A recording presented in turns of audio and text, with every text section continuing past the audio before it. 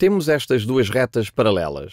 O segmento de reta AB e o segmento de reta CD são paralelos. Devo dizer que são segmentos de reta paralelos. Depois temos estas secantes que passam de um lado ao outro. Temos esta secante BC e temos a secante AD. O que este diagrama nos diz é que a distância entre A e E, que corresponde ao comprimento deste segmento com uma marca aqui, é igual à distância entre E e D, que corresponde ao comprimento deste outro segmento com uma marca igual. Outra forma de pensarmos nisto é que o ponto E é o ponto médio do segmento de reta AD. Neste vídeo, quero que reflitam nisto. Será o ponto E também o ponto médio do segmento de reta BC?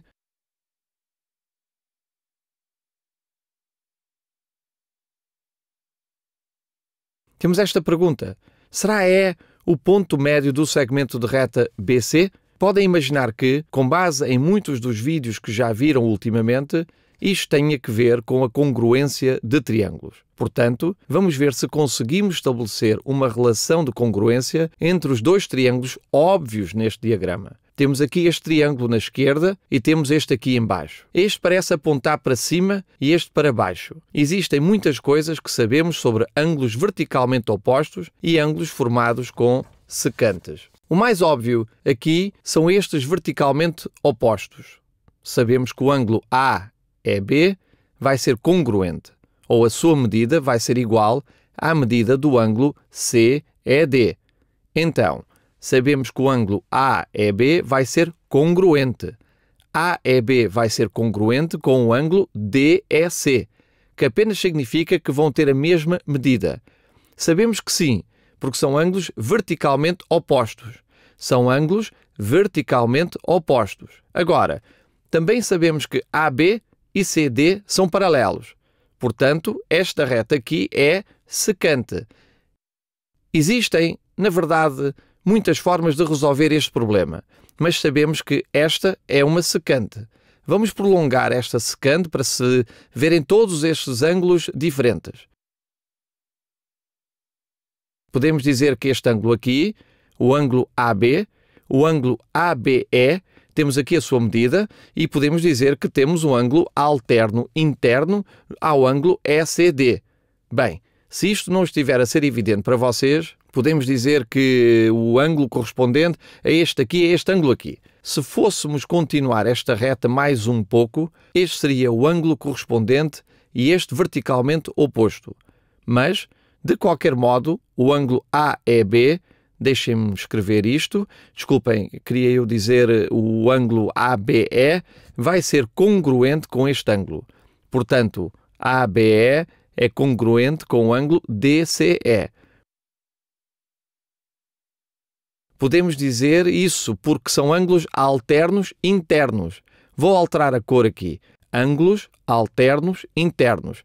Temos aqui uma relação interessante temos o ângulo congruente com o ângulo, outro ângulo congruente com o ângulo e depois o próximo lado é congruente com este lado aqui. Portanto, cor-de-rosa, verde, lado e cor-de-rosa, verde, lado. Então podemos aplicar AAL, ângulo, ângulo, lado.